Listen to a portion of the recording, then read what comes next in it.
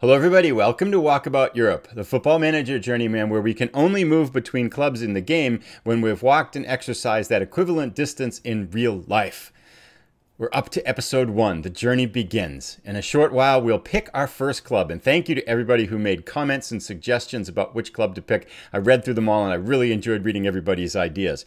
I'll also kind of touch briefly on house rules for the save. I'll share the exercise tracker and then we're going to jump right in and play our first match. The journey starts today.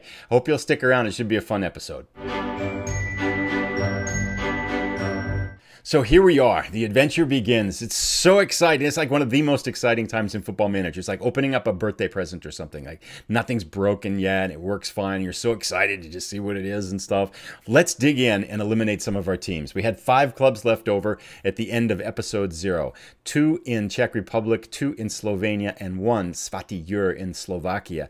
Now, I have to admit, I was not leaning towards the, the the Slovakian club because I was concerned that the promotion was broken in the database. But Alan Butterworth made a comment that led me down a path that led me to be able to confirm that it actually is working in League 3 in the Slovakian league. So that brought Svatý Jura back into the picture. But Let's take a look at the Slovenian clubs. We had Zreče and Smarje. The thing I was concerned about with Smarje was that it's going to be embroiled in a relegation battle. And I don't think I want that in the first season because I'm a little concerned if we lose our job too quickly, we won't be able to find another job very quickly getting out there, especially with no credentials. So that went Smarje by the wayside. Then I took a look at the two clubs in the Czech Republic. They were Benešov and Rosic. And a lot of people mentioned that they really liked the location of Rosic in the comments, and I agree. Benešov is a little bit too far north, with good access to Germany and Poland, but a long walk just about anywhere else. So I thought we're probably going to be able to, we're probably not going to be able to get into Germany or Poland with our second job because the lowest clubs in that nation are pretty high. So that made me think Rosic is definitely the better option in the Czech Republic. So there went Benešov. That left us with Rosic, Zreče, and Svatý Jur.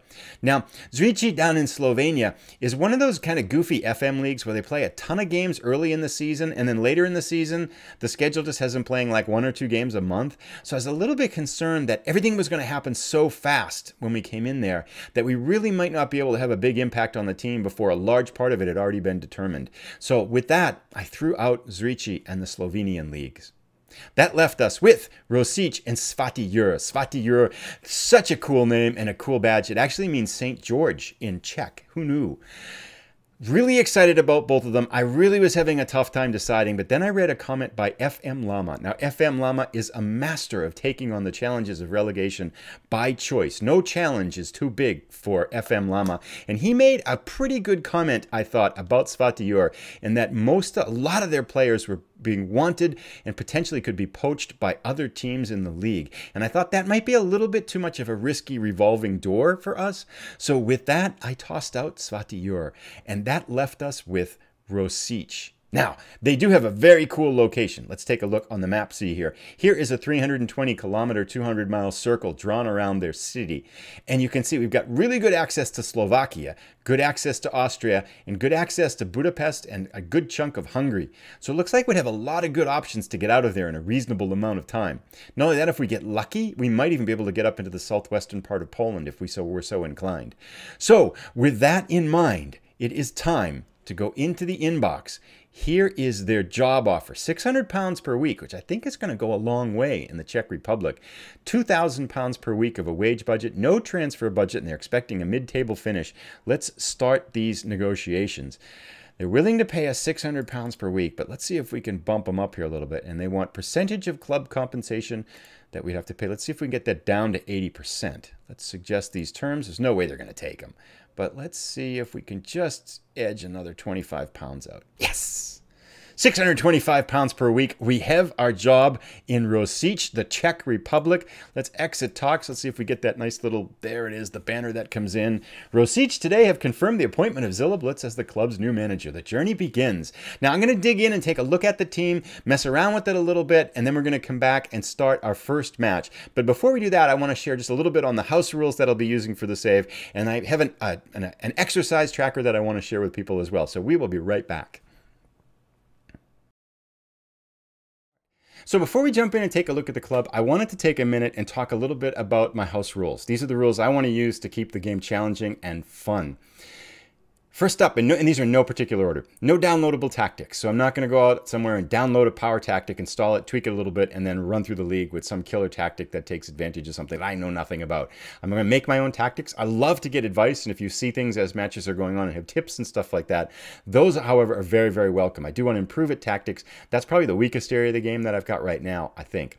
Next up, I'm not going to, likewise, I'm not going to search the internet for information on hidden wonder kids that I wouldn't be, have knowledge about in the game itself. If I bump into someone by chance, that's awesome. But I'm not going to go out and look for articles that are going to allow us to kind of say, search for this guy, bring him into your club, and yay, now we're 21 and 2 or something like that. I'm not interested in that. Likewise, with that, it kind of goes without saying, but I'm not going to be doing any save scumming or do anything like that would give us kind of repeatable action within the game. Uh, I'm not out to prove to anybody how good I am at the game. I'm not, there are thousands of people that are better than me at the game. Let's put it that way. This is about the fun of the adventure. If we get relegated three years in a row, whatever, and I end up working in McDonald's in Budapest, cool. That's where we'll be. So uh, no save scumming for me. I'm also not going to take care, take advantage of any things that are obvious unrealistic advantages within the game. And by these, I mean like scheduling a preseason tournament against teams that are in the top of the league. I've seen saves where people do that and they all of a sudden they've got 2 million pounds in the bank and you're like, well, yeah, if you got two million pounds and all the other clubs in the league don't have that much, you just made it super easy for yourself. And that's fine if people want to play that way. I'm just not, not really interested in doing something that's going to make it a lot easier. Likewise, making it a lot easier so we attribute masking is on. So that means I have no idea what the player values are. That's by far, I think, is the, the largest difficulty toggle in the game. And I just really like to play without knowing what the attributes are. So we have to scout, bring people in on trials, and all the struggles of trying to figure out whether someone actually is any good or not. Lastly, um, I do have the database editor turned on. Um, I don't have the in-game editor purchased yet, and I won't be using it unless it's something, unless it's to fix something that would have broken the game, especially with some of the custom databases. I'm wondering if there might be cause at some point to have that happen. But I'm not going to go in and like change a player's rating or do anything to gain advantage through doing that. It would be just to fix something that is broken. And I actually haven't even bought it yet. Haven't bought it yet. So I think that's about it that I wanted to say. If there's others that I've forgotten or you have questions about them, let me know. But that's our house rules. So let's drive on and take a look at the exercise tracker. So I wanted to share, I mentioned in the last episode, I'm going to put everything in a kind of a publicly available Google spreadsheet I'll be tracking the distance that I covered in the game for the game and stuff like that. And I'll put the link down below in the description. And then I'm going to talk more about this and kind of the exercise elements and the fitness elements as I go forward. But for right now, I just wanted to share this in case people want to check it out. So the link is down below and you can check it out and see what's going. So far, so good. Five days, averaging about nine miles a day. Is that right? Nope, nope, nope, nope. Sorry, about seven miles a day. So yeah, feeling pretty good too. But we'll talk more about that later. The link's down below if you want to check it out. Um, I might be having a little bit of buyer's remorse right now. Uh, but anyway, let's keep this brief. We could, I could spend. I've been poking around here for a while. I could talk about this for a while. We'll save some of the juicier bits, bits of news for upcoming episodes. But let's just say things aren't all quite what they appeared to be. First up, uh, we actually signed the contract on July 25th. In the morning, we have a, a match July 25th. So we, have been at the club for literally four hours. I've been able to bring in some trialists and do a few things. Most of which is to say, oh my God, what did we get ourselves into? Uh, we have actually played a couple games too. If we look at the league table before we got here, on the league table on the right hand side, we've played two matches. We've won one and lost month. We lo lost to one of the B teams five to nothing, and then somehow beat another team two 0 So not all bad news. We're one and one. That's mid table, so that's where we are. I've looked at our staff. Actually, before I looked at the staff, though, the biggest thing perhaps with a journeyman like this is getting your badges really fast, right? Because you start out with none and you need some, because otherwise people say, hey, dude, you're a football manager and you don't have any licenses or anything like that. So you're hoping that the finances of the club is pretty good and you can go right in, ask for a, a badge, and, um, and start studying for it. Unfortunately, we have a negative balance. That makes me think we really might have want to gone for one of those teams that had a transfer budget because I bet they had a positive balance. So yeah, I might have screwed up big time already. Hopefully, we can turn that around and then go in and ask for a badge and get one. I didn't ask yet because I know what they're going to say. They're going to say no. So then, um, other news. I looked at our staff I think this might be the worst staff I've ever. It's it's like hilariously bad. I think these are the staff members that the game maybe, maybe generates.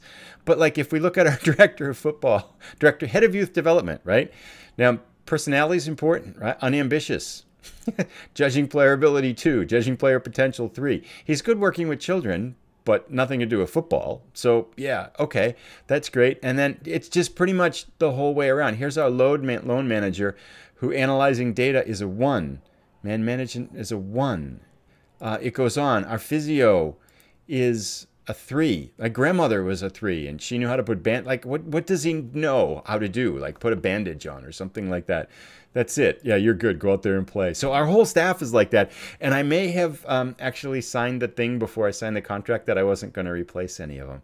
I looked. We have a couple of open spots too, and there's nobody out there that's anywhere good either. So I just doesn't look like there's a ton of football coaching talent in the Czech Republic, which might explain why we got this job. But anyway, then if we look at the squad, it's a little bit mysterious here we have a bunch of players up here. And then if you'll notice on the bottom here, we actually have players that the game thinks is our better players. Now, these ones in green are some trialists that I brought in this morning that are here already. And these players actually look pretty decent. Most of these players up here are just kind of grayed out players. They're all pretty, like, just generically awful.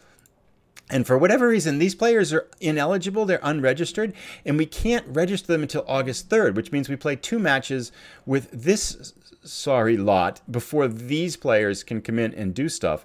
And before you say, well, like, whoa, those players look good, look at all those stars.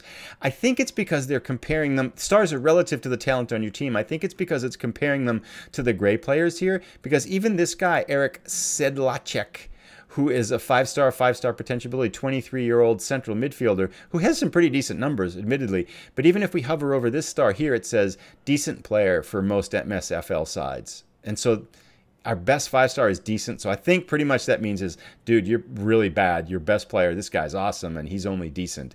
But we'll see how this all goes down. Um, so yeah, lots of things to work on, I think, which is the fun of a journeyman. I'm super excited to get started. But let's jump in. We play a match today against somebody, and let's uh, select our team. To give you an idea how good our staff is, they suggested we play our, our assistant manager suggested we play a 4-3-3 even though we don't have a right back or a left back or an attacking right winger and he suggested we use a target man who was five foot four inches tall so yeah, our staff, I don't think we're going to be able to rely on our staff for much advice. So I kind of tossed this thing together, and I thought it was very appropriate that our attacking midfielder is this guy called Blaze Panic. I'm sure you don't say it Blaz, it's probably Blaise Panic but that's even better, isn't it? Blaze, Panic. He's got one star column ability, but at least he's not grayed out. Five star, supposedly, maybe, potential ability. But I just love the name, and he's right in the center. So I kind of feel like there's this typhoon going on. So with that, I have no idea what I'm doing. Our, our assistants don't know what to do. We're just going to thing. The set pieces are all busted and stuff. We're going to work on that.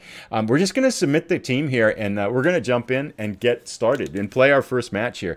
I did notice the team we're playing, I think, yeah, yeah, they're, everybody's not fully fit, so just deal with it. There's a lot of red there, but that's a lot of words I'm not going to read out. we got to click through this thing here. Uh, here we go. We are ready to start. There are fans in the audience. We are playing Ursic or Hirsch. They are in the red, I think, going left to right. We're Ursic going in the white. We're going the other way, right to left, I think. Let's get this started. I want to check to make sure we're on the right highlights here. Extended, let's go key to keep this moving along here. And eventually I'll change the camera angles too. Panic with the ball. All right. Strosky. I have no idea who these people are. I Kirch with no vowels in his name. That's so Eastern European, isn't it?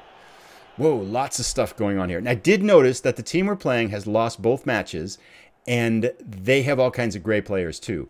We do have one guy up top that uh, actually looks like he could kick the ball in the net. Time for us to shout here. I think shouts are going to make the difference for us. Demand more to the entire team. I have no idea what's going on. 24 minutes in. We're actually dead even. Let's uh, let's go a little positive here, right?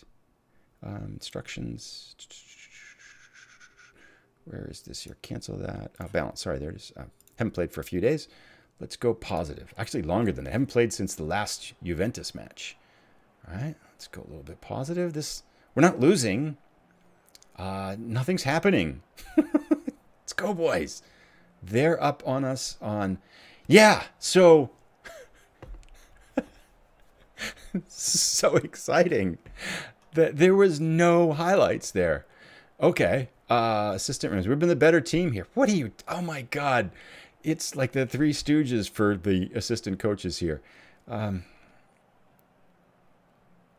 uh, no, we haven't been the better team. I, I don't want to say anything. Let's do keep it up. Okay. Oh, they're inspired. uh, you weren't that bad, but I believe in you. Let's go. Okay, let's go. Good cop, bad cop, and I have to be both. Attackers pump fists. There you go. Now, let's dig in here and maybe make some changes. I might take a second here. I will clear this stuff out. I'll be right back. Okay, there we go. Tactics. Let's see what we've got here. Oh, God. Midfielder on the right is a 6.2, 6.4. Our goalkeeper is doing awesome, and he's calm. We should get the apprehensive people out. Is this guy a gray guy? I can't. What is Divlianovich. He is. Yeah, oh, actually, he's pretty good physically. Oh, he's playing on the middle because we don't have a central guy.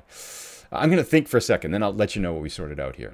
So, yeah, let's get the second half started. I'm not going to make any subs. We can only make three. We have two people that are exhausted. I think we're going to go to like 70 minutes and then throw in bodies. The only thing I did was I said, let's play for long balls. Let's pass into space, hit some early crosses, and shoot from distance. Uh, pass into play into space there. So we'll see what happens. Oh, is this a highlight? Yes. Yes. Look at we connected some passes. Long shot. Oh. So close. It's still in play? Let's go. Keep. Oh, no one chased the ball. That was pretty good. So I think we, yeah, the shoot on sight thing seems to be working here, although it didn't add much to our XG there. Let's go to 70 minutes and we're going to bring in all fresh legs. See if that'll matter here. They're out shooting us. Uh-oh. Oh no, this is going to be bad. Gah! Okay. So let's make our changes now. And yeah, that's this is just keeper. That's a great keeper. It looked like he just olayed it there. Let's skip that. And let's pause here. I'm going to make some changes and I'll come right back. Okay, so we made a couple of subs. We pulled out some tired guys. I threw in a left back and attacking midfielder. And then we're pushing up in attack here to see if we can get something going in these last 20 minutes. Come on, boys. Let's get one. Let's start off with a boom here. 18 minutes, 10 minutes. Let's use our last sub now. God, it's quite dismal. We're shifting to attacking. So I brought in this guy, Kirch, at attacking midfield. He's a defender, but we don't have any subs. We don't even have enough players to fill out seven subs on the team here. We need to do something else. Let's push these guys up. Yeah, let's do that. That sounds like fun. And let's make our last sub here. We have these guys are everybody's dead. Everybody's in horrible shape. What have they been doing in the preseason here? Krisic on the, we have a midfielder on the right, at least position wise. This guy's just out of gas too. Uh, I think he's actually a right midfielder. No, he's a left midfielder. Okay, so let's do that. Let's. He's nervous, right? Yeah. Okay, let's do that. We need to ye yell at these people too, and then let's bring in this guy here and see how all that works. Uh, like this is gonna work really well, I'm sure. is he a right-footed or left-footed? What is he? very strong right foot, so that makes sense to be a winger. And how's his very strong left foot? That's good, so he can be a winger. I think we're here. we're set. Let's give the team talk. Let's have faith in you make a difference. Let's confirm the subs, and off we go. Then let's pause, make our last shout. Fire up. Here we go. My one star attributes here. Come on, boys. Let's get something. Oh, a chance here. Uh-oh, a chance for them maybe. We are in attacking mode. Repka to Repka. We have two Repkas. Steal it. Steal it. Oh, Radechi. Uh-oh. Erhursk is breaking down. Oh, my God. Keeper. Oh, is he offside? Disallowed. Nice. There's still hope. Skip, can we make one more? Three minutes. We got one more shout? Uh, nope. We can't even shout. That's it well. a rather inauspicious start for us here. Let's go to the dressing room. I'm far from pleased with that result. Navrati is demotivated. Divjanovic has been nervous the whole time. He's just a ball of nerves as well. If we continue on, I can't imagine these ratings, especially with the ratings bug, are going to be all that helpful here. what is this? We're a senior affiliate. Oh, we rejected our approval for a senior affiliate because we do not really want to rely on loan players. We don't have any players. Okay. Anyway, that that uh, that brings us to the end of that match and the end of our first episode. A rather inglorious start with a one to nothing defeat that sees us slide down in the table here. But there is lots of work to do, and we have a lot of players here coming in pretty soon. Once we get these ineligible players, unregistered players registered, we should have some players that aren't just kind of grayed out players. So hopefully that will help a little bit. We will be back. Let's see what our schedule's got. I'm thinking we'll come back here towards the end of August. There's this team called Unikov, which I can't help calling Unicorn. So maybe we'll come back for them. We should have our players in. We'll have a little bit more of a history, have more things to talk about. So we'll see you then. Thank you so much for tuning in. I hope you've enjoyed the episode. We are underway. A little bit nervous about this. Let me know what you think. And uh, take care, everybody. Stay safe. We'll see you in the next episode.